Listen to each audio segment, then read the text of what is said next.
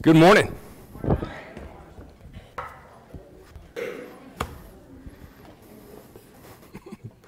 Got some visitors with us this morning, and we're glad, wherever you came from, that you're here with us. And uh, we're glad to be here as well. Glad to be alive on a beautiful day.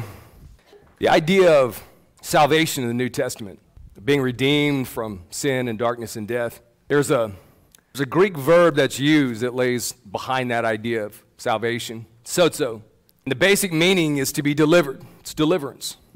And then in the, in the New Testament, in the Christian era, we took that concept and, and brought it into the spiritual realm to mean salvation from the penalty of sin. It's a very legitimate meaning. But when you see it in the Old Testament, in the, in the Greek translation of the Hebrew Scriptures, it's called the Septuagint, and you see that the idea of uh, deliverance, Israel being delivered from her enemies, and David delivered Israel, etc., etc. You see it many, many times. Obviously, that's not spiritual salvation. David is not their Messiah, but he was their warrior king. When they were delivered by God from their enemies, they were saved physically. Our God is a God of redemption, who through the cross of Jesus Christ purchase us, purchases us out of the slave market of sin, but he's also a God of deliverance. And there is an ongoing work of redemption in each of our lives. For those who humble themselves before Him and before His will, God is constantly at work. He's shaping, He's refining, He's molding, He's drawing impurities out of us, and He is pouring His love and His mercy and His compassion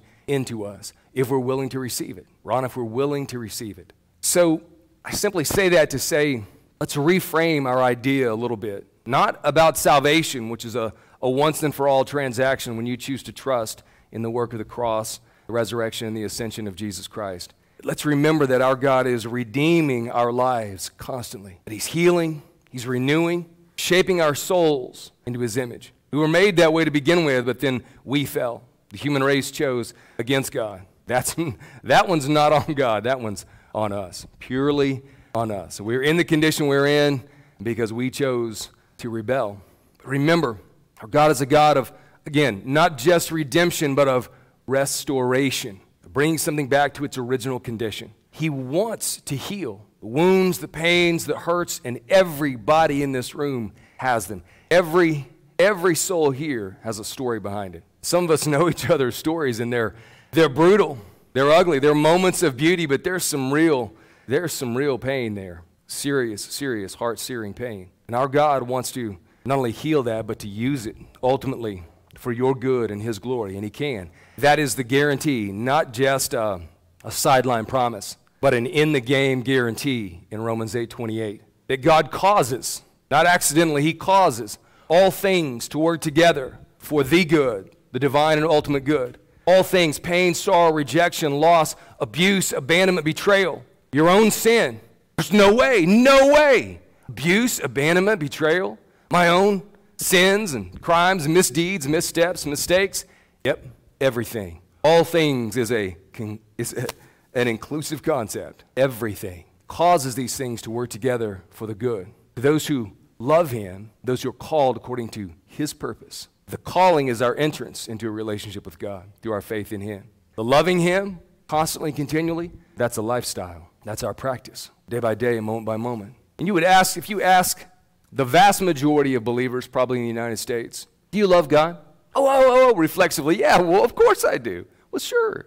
Jesus said the totality of Old Testament revelation is summed up in loving the Lord your God with all your heart and soul and mind and strength, and then loving your neighbor, loving the other, any other, anywhere, as yourself, and doing for them what you would want done for you, and doing to them, in other words, treating them the way that you would want to be treated. There's this underlying respect and compassion. There is this tenderness that flows in relationships where love is a priority, right?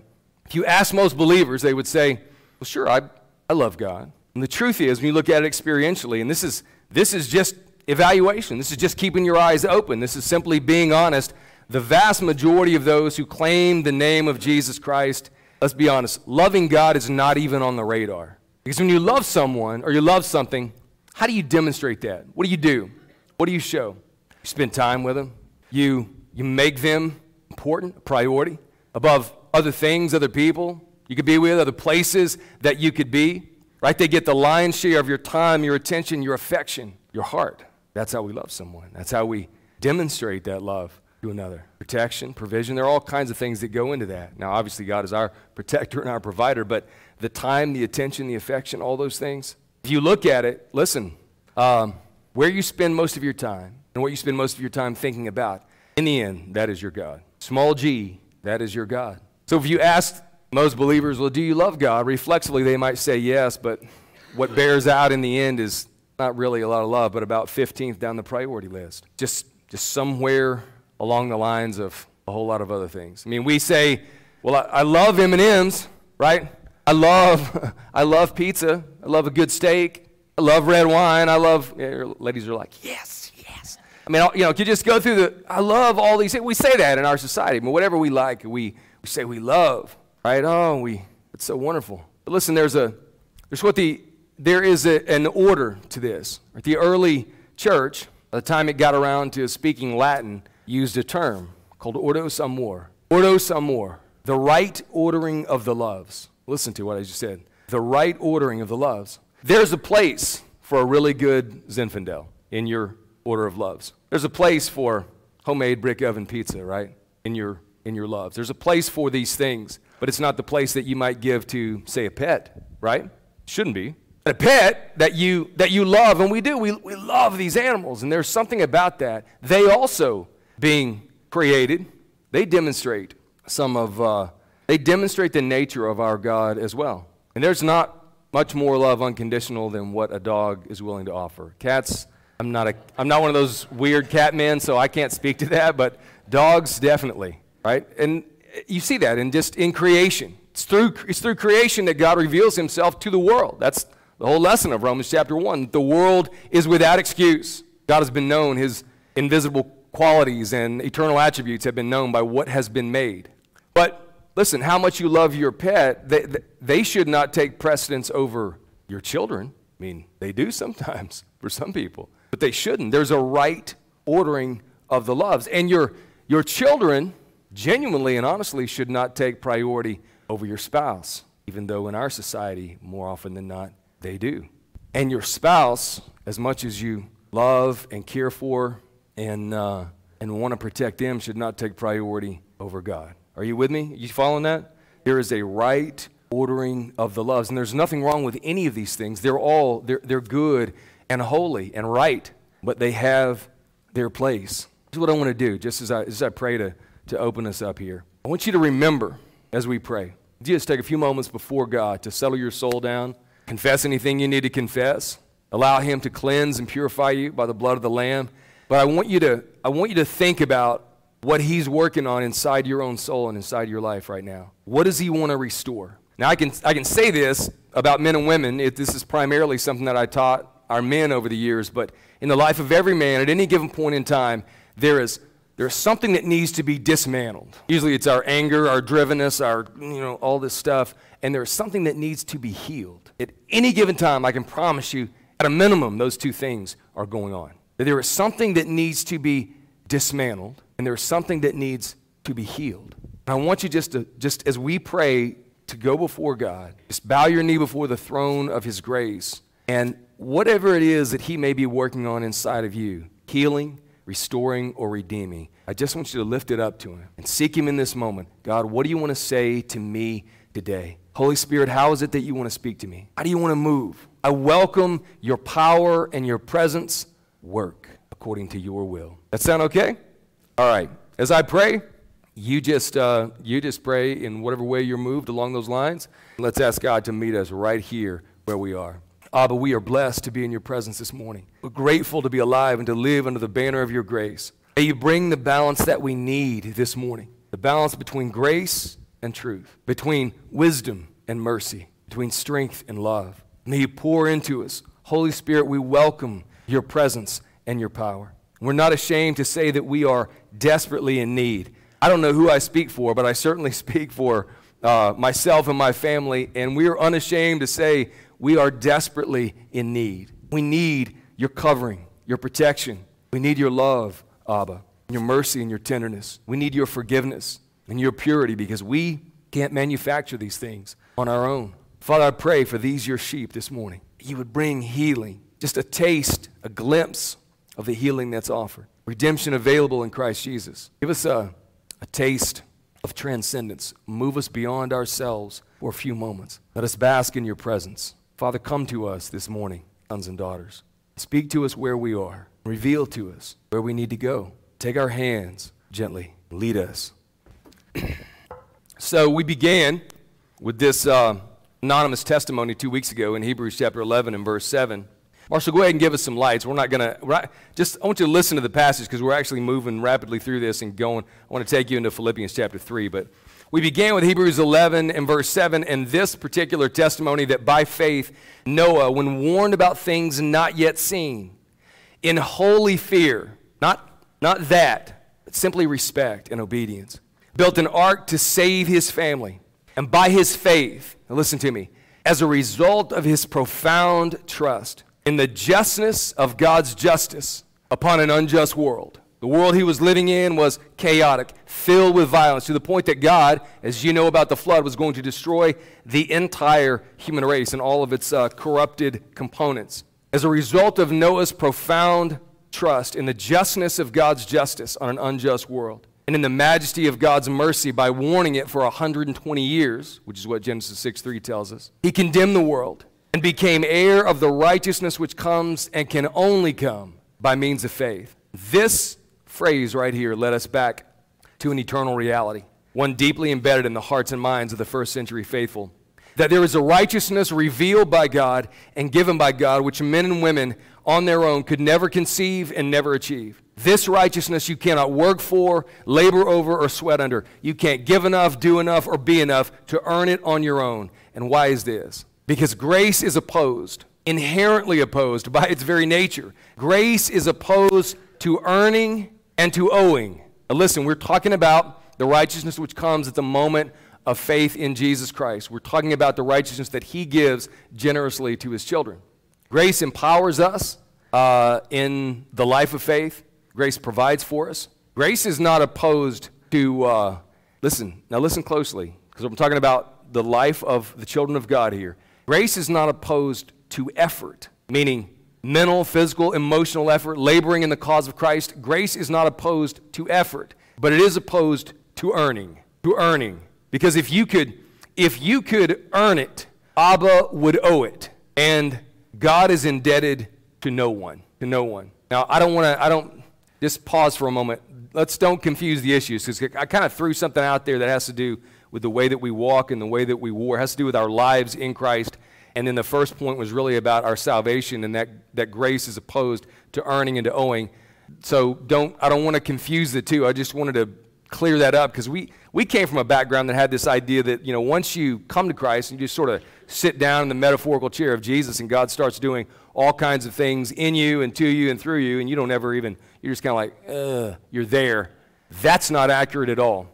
In fact, one of the words that's used over and over in the New Testament, one of the verbs that's used when you see someone who, as Paul talks about, uh, working harder than all the rest in the cause of Christ, in Romans chapter 16, he lists an entire, a whole list of a New Testament hall of faith, really, and he says, so and so worked hard, and so and so worked hard. And usually it's the women. What a surprise. And so and so worked hard and worked hard. And, the, and that's not a bad term, but here's what it really means. Kopiao means to labor to the point of exhaustion. To labor to the point of exhaustion. Are you tracking with that? To labor to the point of exhaustion. What? So that we can make some more money, buy some more stuff? No, in the cause of our King. So that verb alone tells us that in our Christian lives, grace is not opposed to effort. But in salvation, Grace is opposed to earning, to earning and to owing, because if you could earn it, then Abba would owe it. See, this righteousness that's mentioned here is the righteousness that Abba gives graciously and eternally to those who believe on the name of his Son. As the ultimate account holder, Abba credits to our bankrupt accounts the perfect righteousness of his only Son. To use the theological language, language he imputes to each and every one of us. He imputes or he credits to each and every one of us, his children, the righteousness that his son possesses. This is the basis for how he views us. This is the foundation of our eternal identity. This is the reason our souls are secure. It's not because of what we have done, it's because of what Christ has already accomplished. It's because of the gracious gift of eternal life and perfect righteousness. This is the reason that our souls are secure. It didn't doesn't and never will depend on you. And that burst the air out of a lot of people's balloons right there. You mean all this good I've done and all these nice things and all the ways that I've acted that this is not this is not gaining me points with God? The determining factor of your heavenly citizenship, Michael, is your faith, your trust, your belief in the full and finished work of Jesus Christ. Would you you want proof of that? Read the Gospel of John. Over and over and over again, he brings this idea out that it is believing in the Son of God, belief in the name of the Son of God. He makes this amazing statement. It's, it's, it's literally amazing at the end of his gospel that if all the things that Jesus had said and done were written down, and he's speaking sort of metaphorically, but he doubts that the whole world could contain the volumes that would be, that would be written. If everything. And I mean, there's a lot in the Gospels, in the four Gospels. But in John's Gospel, there are seven, uh, seven major miracles that Jesus performs. There are seven I am statements I am the bread of life, I am the light of the world, I am the resurrection and the life, etc., etc. So he's got he, that theme is one in, in Scripture of completion, fulfillment, right? When he gets to the end, he says, Listen, these things have been written. If everything had been written, you couldn't contain it in the world. But these things have been written that you may believe in the name of the Son of God, and that by believing you may have life in his name. By believing, not by working, you may have life in his name. Now, here's the dilemma, and it's a big one. It's a big one. Those who feel that they've worked hard enough and long enough, minding their P's and Q's, holding themselves to a rigid and relentless morality, regardless of its scriptural validity. Being a good and then throw in whatever, whatever movement, denomination, or background you want Baptist, Catholic, Independent, Episcopalian, blah, blah, blah. I mean, just go on down the charismatic, whatever. Just go on down the line of the various options that are out there in Christianity. Being a good whatever is not necessarily being a follower of Jesus. Following a particular movement in Christianity or denomination or theological system. There's a particular system that, I, that, that many of us came out of and that uh, I kind of grew out of, for lack of a better term, uh, theologically. Ironically, by simply reading the Bible for itself instead of adhering to merely a system of theology. But being a good whatever, throw in whatever label you want, is not the same as being a follower of Jesus. And simply showing up and being a good attender at a church, wherever that church is, is not the same as loving God with all your heart, soul, mind, and strength. And here's something that we'll just, let's just throw this in the mix so that we understand the Hebrew idea of a person's strength. When I say, I know what Mike's going to say, but when I say strength, okay, I'm not looking, no, no correct theological answer. When I say strength, what do you think of? Power? About, you know, right? Bench pressing, lifting weights, doing whatever. I mean, when I say strength, be honest, don't you normally think physical strength? Somebody on, you know, Schwarzenegger in his heyday or whomever, you know? I mean, that's normally where you go. Strength, physical strength. Oh, yeah. Powerful animals, right? Horse, elephant, whatever. I mean, just raw power. Strength. That's not the idea behind that Hebrew concept. Strength for them in an agricultural society was how much land you owned, how much produce came off of it, how many oxen, how many, how many cattle, how many sheep, how many goats, et cetera, et cetera, just going down the line. What a man possessed. So when you love God with all your heart, which is the center of the soul, all your soul, all your heart, soul, mind, and strength. Now we're moving from, right, the innermost part of the soul, from the soul to the spirit to, we're moving into the realm of the physical, the material. This is very, it's a very simple thing.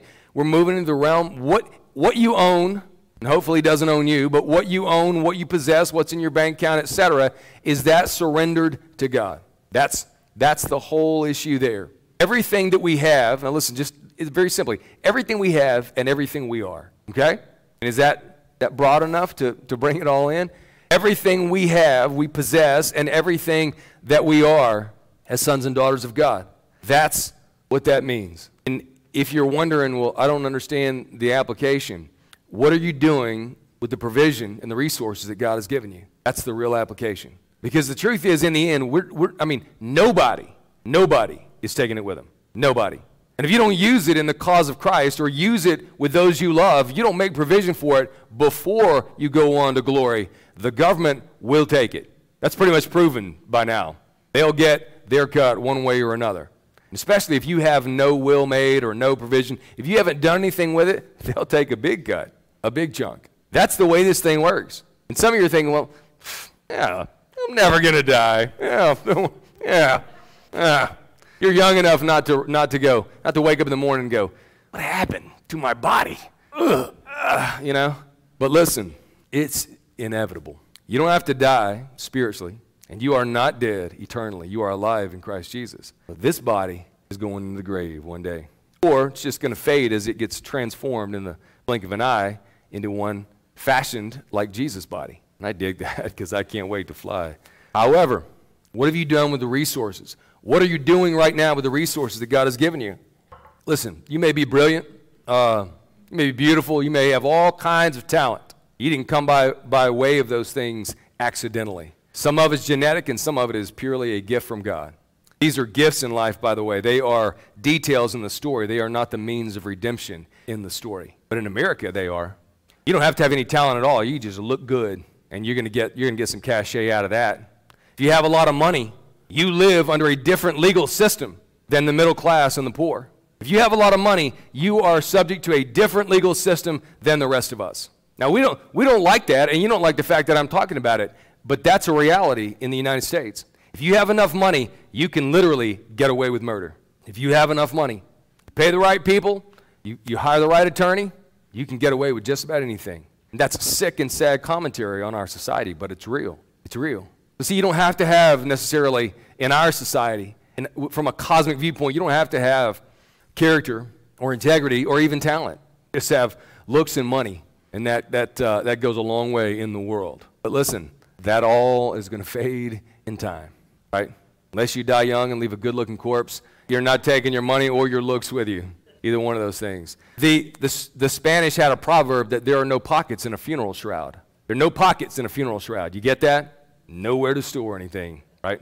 It's not going with us. Now listen, we don't we, we talk about we talk about money and finances and resources less than any church that I have ever known around here. But that's the application of that idea. Loving the Lord your God with all your heart, soul, mind, and strength. It disappoints people who have I went. I grew up in a, in a, in a church. Uh, not really. But I spent many years in a church. Put it that way. I did my tour of duty, or was penalized in a certain amount of time, in a church that had its own, basically its own Ten Commandments on the wall, and there were things like, "Don't dance, don't chew, don't drink, don't go with the girls that do, don't, you know, I mean, literally in addition to whatever the Ten Commandments might be, there were these things on the wall. And by, yeah, I was talking to someone the other day, and she, her story uh, an older lady is a part of our church, is so similar to mine. There's so many parallels. We both grew up under this kind of legalism, and she rebelled against it. And by the time I was 11 or 12, I was like, well, I kind of broken most of those, and I sort of enjoyed that. What's wrong with me? What's wrong with me? So I saw something's wrong with that picture. If that's spirituality, I knew it wasn't salvation because I, I already knew God through faith in Jesus Christ. I, I came up earlier as a child in a church that taught the Word of God. So I knew that. But I couldn't differentiate. I couldn't make the distinction at that time. Well, what is this that I'm seeing? And, uh, and why is it that if we have a, a rule about tobacco, why, why are all these guys out front? It was a kind of a small country church chewing and smoking at break. I don't, what's going on? Can we do that? Can that, you know? So we couldn't get away with that, right? So listen, uh, the point is, by the time I was about 12, I said, well, that's not, I can't do that. So I'm out of here. It was not just the legalism, Joni, it was the hypocrisy, right? People who hold themselves to a, a rigid and relentless morality, regardless of whether it's scripturally valid, to earn their place in Abba's kingdom, who by virtue of their superior virtue are worthy of this perfect righteousness. What happens when they hear about grace is they are now robbed of the entire complex upon which they've built their lives and based their behaviors. And paradigms like this don't shift easily. For one's worldview to be radically realigned means the old world has to fade so the new one can come into focus. When you've built your foundation on the sand of self righteousness and it suddenly shifts, into the breach you go. Legalists the world over, from antiquity to postmodernity, start to sweat when there's no fear, Dana, associated with our redemption. No whip to crack, no stick hiding behind the carrot of the cross. No sweating and straining to secure our self worth. No laboring for and earning our standing before God. i can just imagine this conversation going on. How are we going to herd people into our particular pen, right? Be it, it doesn't matter whether that pen is moral, spiritual, ethical, or denominational. How are we going to get them in line and keep them in line? And if you think that there's not this kind of control and tyranny going on in churches, mega churches with thousands, and small churches as well, you don't understand the nature of man and you don't understand the nature of religion. It's always about control and primarily about power. Just like what we see in the political realm, it's about power, getting it and keeping it at all cost. And people will do just about anything once they've got it to keep it. They will hold on to power. There is a huge difference in leadership in any realm, business, social, political, between power and authority. And I want you to listen to me. Between power and authority. Because power can be abused, power can be manipulated, power can be coerced, power can be bought with the right amount of money.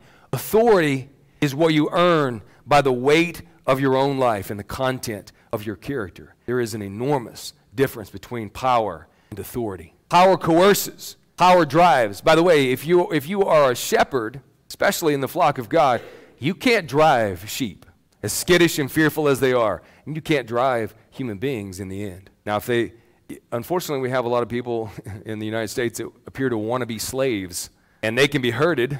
You can't, you can't drive sheep. You have to lead them. And you have to lead them by the sound of your voice. You have to lead them by love love, grace, truth, etc., etc.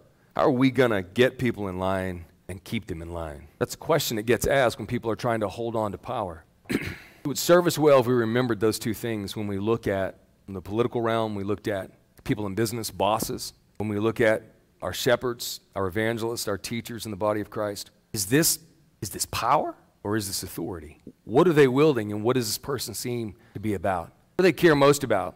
Is it attendance in buildings and cash, the ABCs of modern Christianity, or is it the hearts of people? And there is a difference. And you have the discernment to be able to tell the difference between the two. You have the Spirit of God dwelling inside of you. You have the wisdom of His Word. Use it. Use it.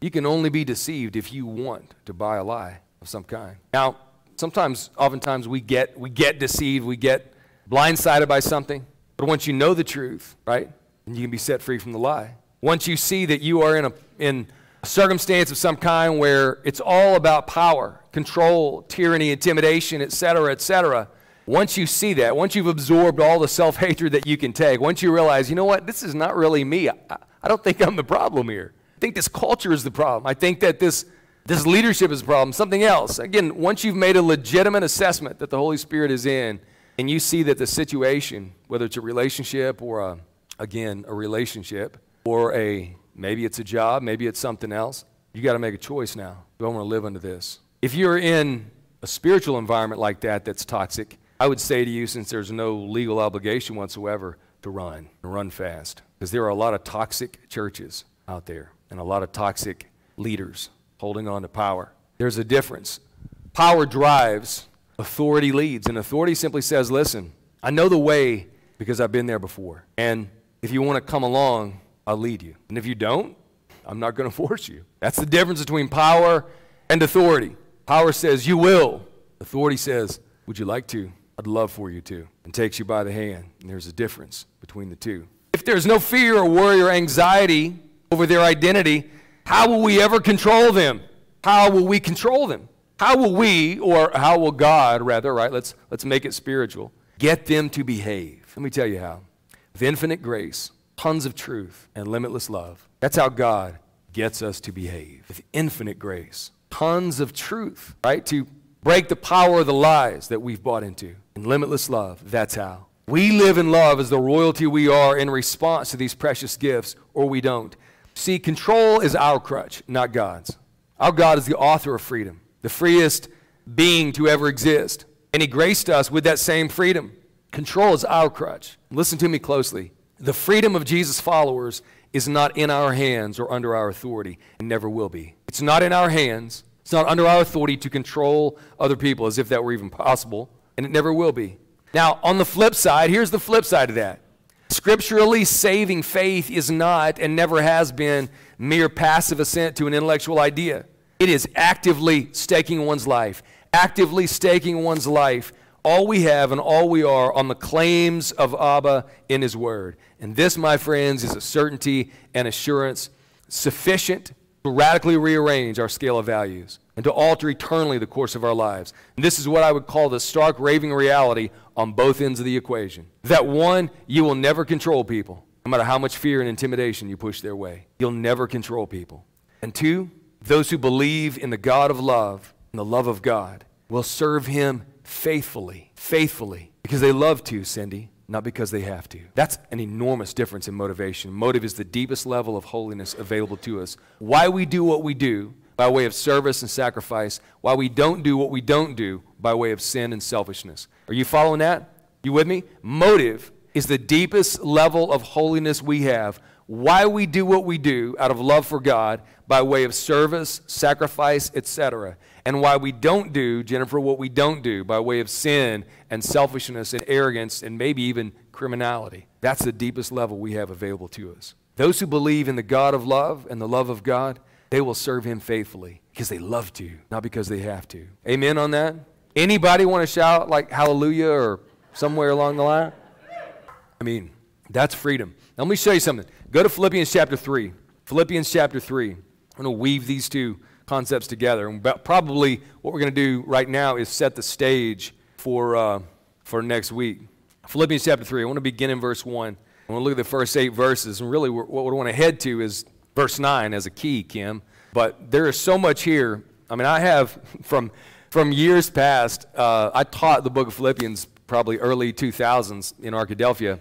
And I go back and look at these, at these various sections.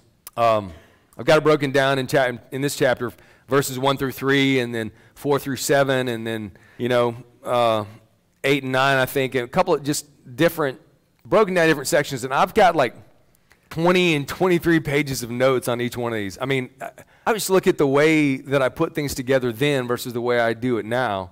And uh, I'm just like, wow, man.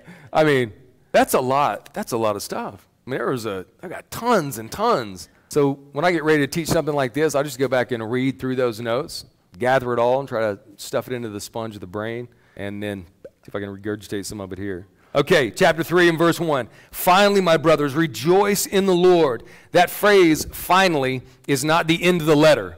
It's not like when uh, you get to maybe a uh, particular preacher or pastor or something says, and the last point, and then gives you 10 more. That's not what Paul's doing. Okay? Finally, toloipon is the phrase, and here's what it means it means for the duration. For the duration. For the duration of, of what? The rest of this uh, particular message, a, a Bible class, a worship service? What are we talking about? For the duration of your lives. It means from now on, Chris, from now on.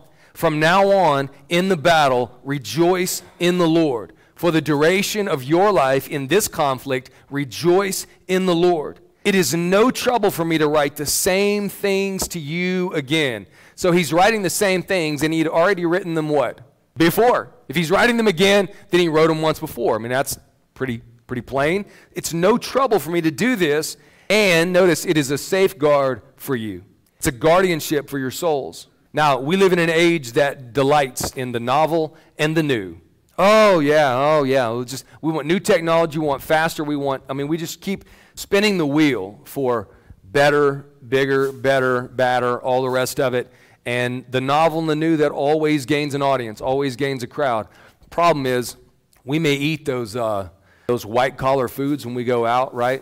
I mean, we get whatever it is, something rich, something whatever, but we survive on, you know, basic necessities mostly. The things that are going to nourish our bodies more than whatever this extravagant meal is. I love, I like to eat and I think most people probably do, and especially in our country, we can see that. Uh, I'll give you an example. We were in Eureka Springs um, about two weeks ago, and the first night we went to Gaskins, which is a steak place. So steak and you know, oh, big delicious meal. The next night we went to Ermilio's, which is a Italian restaurant. It's fantastic. It's up at the top of Spring Street. If you wind your way around and head back, it goes up and out towards Eureka Springs Little Hospital, which is about as big as this church building. And, uh, and then it comes out on 62. But it's just, a, it's a house up at the top of Spring Street. And it's fantastic. And it, I mean, it was like wow, why, why, do we not know about this place? How do we, you know, how do we miss this one? You know, been up there half a dozen times.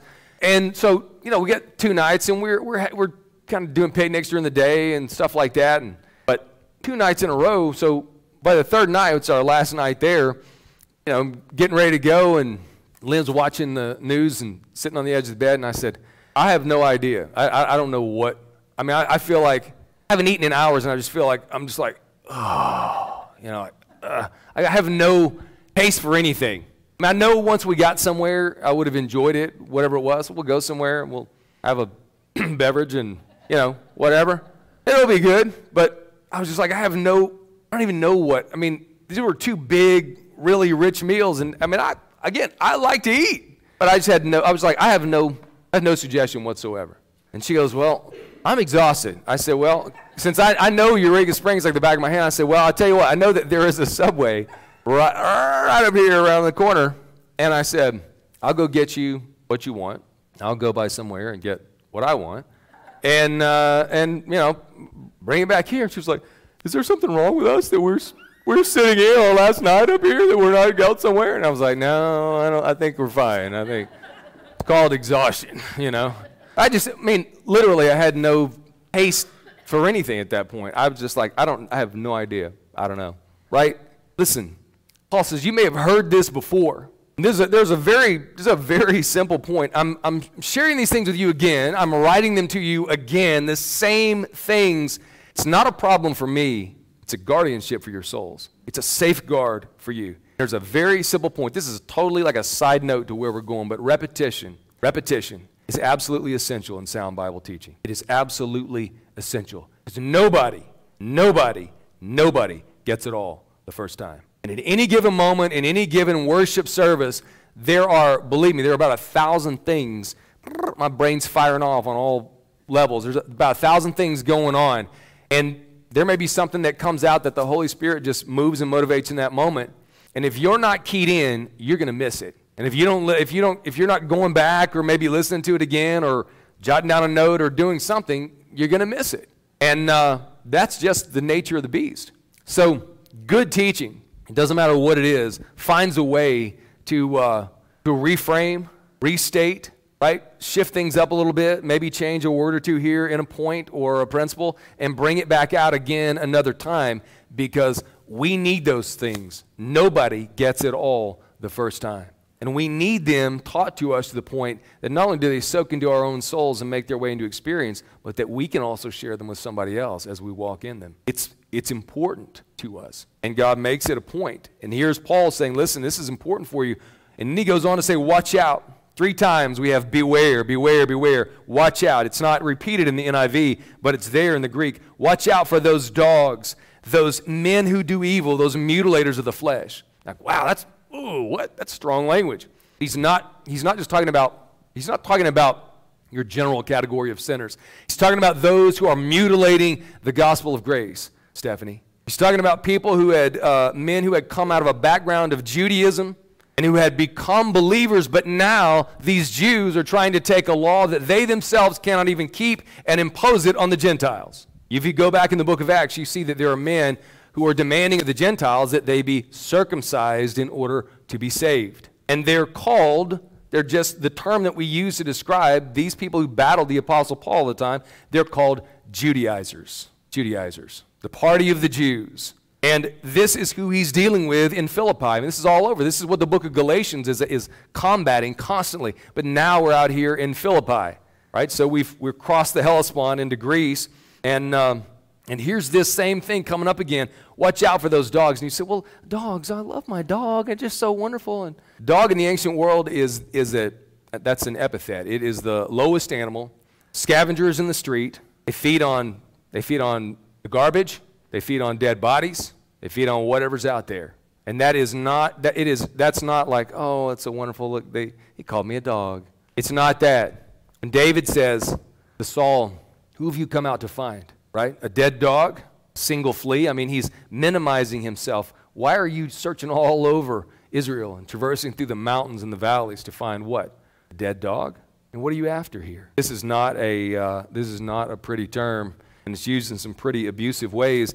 It's a way of you question someone's manhood, you question their very legitimacy by calling them a dog. This is an insult to the highest caliber. So, for all of those uh, who say, well, you know, Christian spirituality is just, it's just nicey nice all the time. I would say it's better to be nice than not.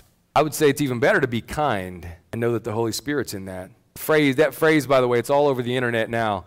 It's not new, and it's not by some uh, Facebook philosopher. It is Philo of Alexandria. In the century prior to Christ, he tried to take uh, Jewish theology and, and Greek philosophy and meld them together. I'm saying good luck with that, bro. But, that, but that's what he did. And his phrase, Chris, was be kind. Now, you know where it's coming. You, you've seen this on Facebook. Be kind, for everyone you know is facing a great battle. That's not a Facebook philosopher. That, that irritates me when I see these quotes out there with flowers all around them and stuff like that. Know where it comes from and what the intention was. It was meant to be intensely spiritual when it was first offered. Now it's just kind of a platitude. So I would say, yes, it's better to be, better to be kind than not. But the whole idea listen, these are enemies who are distorting the gospel of grace. I feel like calling people dogs and, and, uh, and um, men who do evil and mutilators of the flesh when I see what we saw up in, up in Eureka Springs. There's only 20 channels on the TV, and three of them were religious. One of them is Daystar, and they had some. They had a special guest on there to ask for money, plant plant a certain amount of seed per month for this next year, and blah blah blah. You know all this stuff. Then the other one has a guy from Ohio, and I don't know his name, but he's he's he's out there on TV all the time. It's Rod something, but it's always it's always about harvesting money planting a seed, sowing the crop, re- reaping your harvest, all the rest of this. And he's talking about, and I said, I said, just watch, honey. Give it about a minute and a half. It took about 90 seconds in, maybe two minutes before the first mention of, you know, planting this seed in 30, 60, 100 fold. Oh, God's just going to, I mean, all, all of this stuff. And then there's another channel which looked like, it looked like somebody had built a little, a little bar. Uh, it looked like a, a very poorly produced talk show an independent cable channel. And there's four people up there. There's two, two men and two women. And there's a doctor, and he's talking about health and talking about juicing. And he's, it's a Christian channel, and he's, he's hawking a juicer. He's selling a juicer on this show. And the woman next to him starts talking about how the three type of men you shouldn't marry, you know? The guy who doesn't work, and the guy who's abusive, and the guy who's something else. I'm like, you know, that's not a distinctly Christian concept, sweetheart. That's called common sense, right? when you see that guy, you run, right? Unless you're blind to reality. But here she is, and here he is. And then over on the other side, there's another woman, and she's talking about the blood moon and the latter days and some of this stuff. And then, then there's a guy in the middle, and I'm like, I've seen that guy before. He's got, you know, he got gray hair and a beard and glasses. And I see a scroll come across the bottom, the Jim Bakker Network. You remember him? I'm like, sweet sons of monkeys. This, this is a circus. This is a circus. I feel the same way. I feel, listen, if you were, if you, if, just imagine that all you know, just think about this. Imagine all you know of Christianity is seeing that on TV. Those three things. I mean, you've, turned you've turned to three different channels hoping to hear a word from God. I mean, you're thinking, well, uh, I don't know. I, I don't have God in my life, so maybe some television preacher can show me God. And so you flip through these channels and you see one guy talking about harvesting, you know, if you'll just send your money and harvesting this money back, and somebody else basically saying the same thing in a different way, and then somebody selling juicers under a blood moon with a bad man sitting next to him, right? I mean, uh, you know, the, the bad guy who's abusive or whatever. I mean, you'll be like, that's crazy. That's nuts, right? I mean, you would, would you want that? Would you say, boy, that, that Jesus, I mean, what a juicer, right?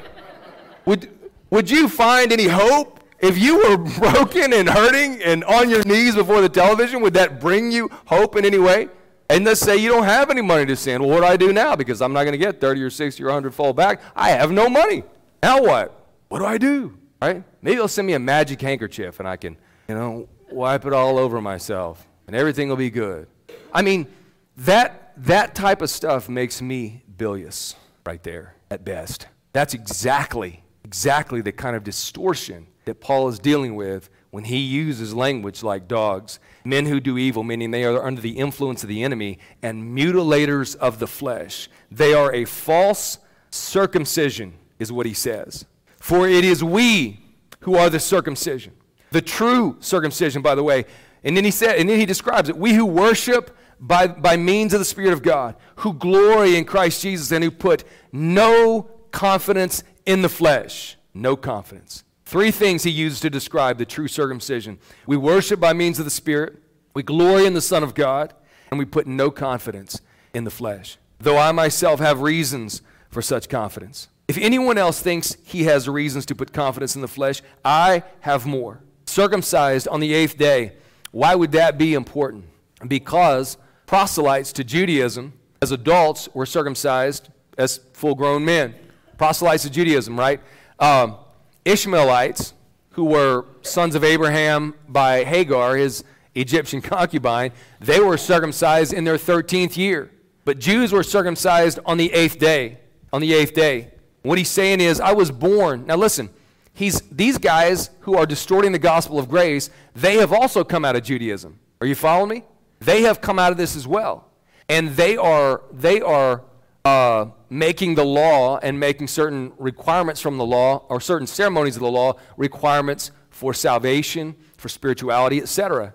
And Paul's saying, listen, you want to boast in the flesh? Do you want to boast about some things? And he lists seven things for us. He lists seven things, the first four of which have they have no volitional merit. In other words, he didn't do anything for these. These things were a part of his heritage and his background. He was born with these. But he says, if you want to boast in the flesh, oh, you want to boast? I've got some things that I can show you here. And he starts with that. And what he's saying is, I was born into the Jewish faith, and I have known its promises, privileges, and observed its ceremonies since birth. Can you say that? Judaizers? Of the people of Israel. When a Jew wanted to stress the unique nature of his relationship to Yahweh, he used the term Israelite, Ron. Israelite. Because Remember Jacob's brother Esau? His descendants were the Edomites. And the Edomites could trace their lineage back to, back to Isaac. Um, the Ishmaelites, they're sons of Abraham, right, by Hagar. They can trace their lineage back to, back to him. He also had several sons by a, a wife named Keturah. Those became the Arabian tribes. They can trace their lineage back to Abraham, but only the Jew could trace, trace his descent back to, back to Israel, back to Jacob of the people of Israel. You know what this is? The purity of lineage? That's racial arrogance. Racial arrogance. We don't see any of that in the United States these days, do we? Racial arrogance. Of the tribe of Benjamin. Thank God that his father intervened at his birth. You know what his name was originally? Ben-Oni, meaning son of my pain. Nobody wants to be named son of my mother's pain. I can promise you. Nobody wants that name. Benjamin means son of my right hand right? And it's the source, that's the source of strength and power. I like that name. That's a warrior's name, son of my right hand. Son of my mother's pain, man, that's, that's a curse for life, Jack, right? That is a curse of the tribe of Benjamin. Why is that important? Where did the first king of Israel come from? What tribe? Saul. Where did he come from? One woman knows this?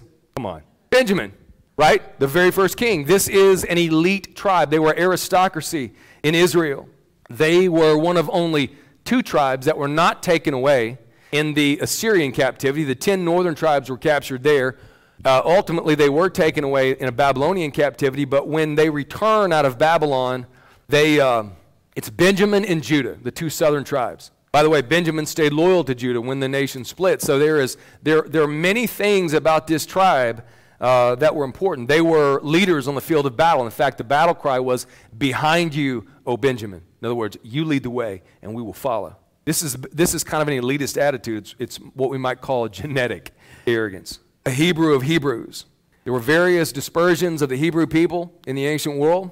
And when they went out into, uh, that's called, they were called diasporas, right? Dispersions. When they were sent out by God, they were uh, in captivity to Assyria in 721 BC and a captivity to Babylon in 586 BC, but then over the course of time into Greek and Roman culture.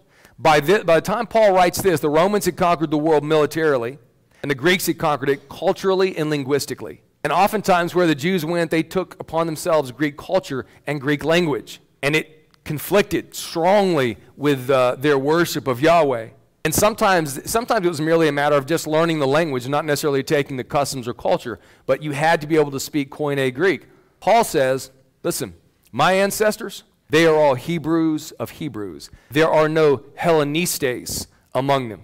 You remember in Acts chapter 6 when the early church has a, a division because the Hebrew widows are being served uh, food and the Greek speaking uh, Jews are not? That's, that word is Hellenistes. Paul says, There are no Hellenistes among my family members. He spoke Greek and spoke it well, but our people retain their culture. That is a cultural arrogance. We don't see any of that in the United States either, do we? Now, just follow with me. We're, we're just going to finish what he says down to verse 7. Boom, we're going to pick up next week in, in that and move on. In regard to the law, a Pharisee. A Pharisee. Now, you're all familiar with the Pharisees in the Gospels for the most part if you've read it at all. The Greek word pharisaios means the separated ones, those who had separated themselves from the rest of the nation. They believed that they were more holy, they were farther up the ladder. I mean, there was no, these are the greatest legalists of all time. These are the, these are the Navy SEALs of Judaism in the first century. There's never more than 6,000 in the nation at any given point in time. They are doctors of the law. They are the elite of the elite. When you talk about people who are Bible scholars, when you talk about serious students of the Word, when you talk about people who had submitted and subordinated every aspect of their lives to the Word of God, you're talking about Pharisees. And this is what some of us have done over the years. We have made that a priority. And that's not the problem. That's not the problem. Problem was they missed the living word when he stood in their presence. And they made ritual, ritual, Mickey, more important than reality. That's the problem. Paul was a Pharisee. To, the entrance exam, you might call it, for a young man to become a Pharisee was to memorize the Pentateuch, the first five books of the Old Testament. Have you ever read the first five books of the Old Testament? It's tough to get through some of it. They memorized those scrolls in Hebrew. That's a rather amazing feat. That is intellectual and educational arrogance. As for zeal, persecuting the church. As for legalistic righteousness, faultless. Zeal was the thing that set apart one Jew from another. That was the most important part of their worship. They didn't believe in anybody being apathetic and indifferent. That was not a part of Judaism. You either, you either were on fire or you were just whatever. But no apathy, no indifference. If you go back to Galatians 1, which you can read on your own, you will see Paul saying, I was advancing farther than any of my contemporaries in Judaism. My zeal was unsurpassed. So he has, he has a right to say, look at all these things. Look at all of these things. Listen, you guys can't match that. My zeal was so great that I persecuted the church of God. As for legalistic righteousness, in other words, in regards to the Mosaic law, I was faultless.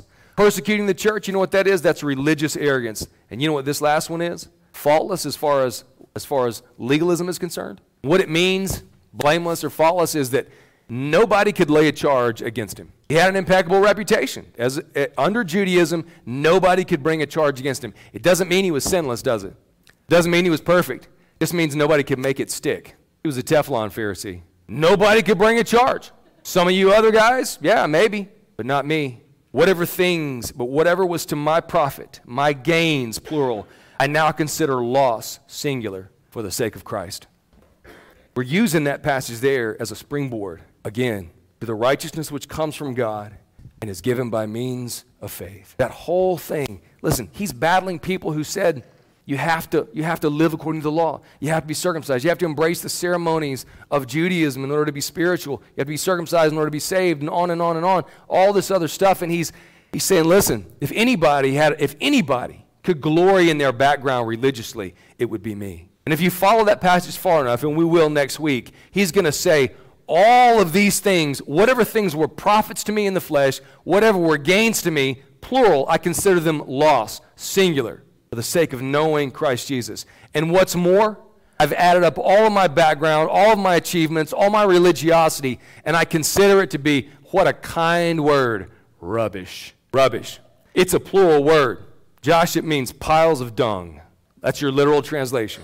Paul would rather you get offended by it than not hear what he was saying. Get that. Get it. All of this stuff that was a part of my background, I consider it to be piles of dung because it's nothing. It's nothing compared to the surpassing value of knowing Christ Jesus, my Lord. Listen, that's all grace, pure grace. That is grace upon grace upon grace. And that's what God has offered to you here this morning. Marshall? What I'm going to do is pray for you, and we're going to have uh, a couple of our men come up here Ron, Paul, a few others. Ron Paul. Hmm. I wish he was here. Uh, I love Ron Paul. And we're just going to have a few of our guys come up here and be available. If you would like us to pray with you, Listen, we're, we're, we're offering. If you would like us to pray for you in any way, shape, or form, whatever's going on with you, physically, mentally, emotionally, spiritually, again, our God is a healer and our God is a restorer. And we believe that. I love you, and we'll see you next time. Father, we're grateful for the day. We're grateful for this opportunity to celebrate the lives of so many. We have, we have three birthdays right here this day. And we, we celebrate those lives, whether, it was a, whether it's the day of their birth or not.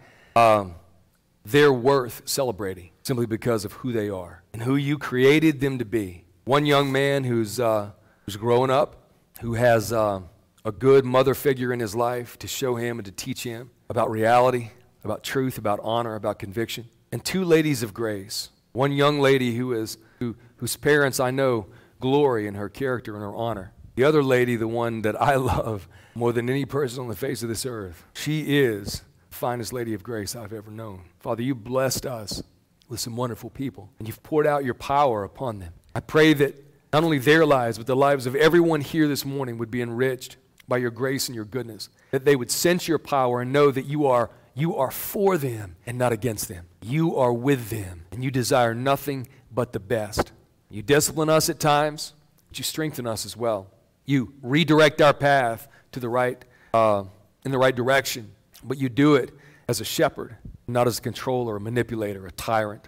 Praise you and we honor you for your, your love as a father for each of us as sons and daughters. I pray that our hearts would be humbled by that, that we would say, Thank you, thank you, thank you. We bless you, we praise you. We would shout hallelujah for the righteousness that has come as a gift of grace, the righteousness which is pure in your sight which comes by means of faith, that you give freely to all of us, that you impute and credit to our bankrupt accounts. We're honored to be a part of your family. Thank you, sir. In Jesus' mighty name, amen.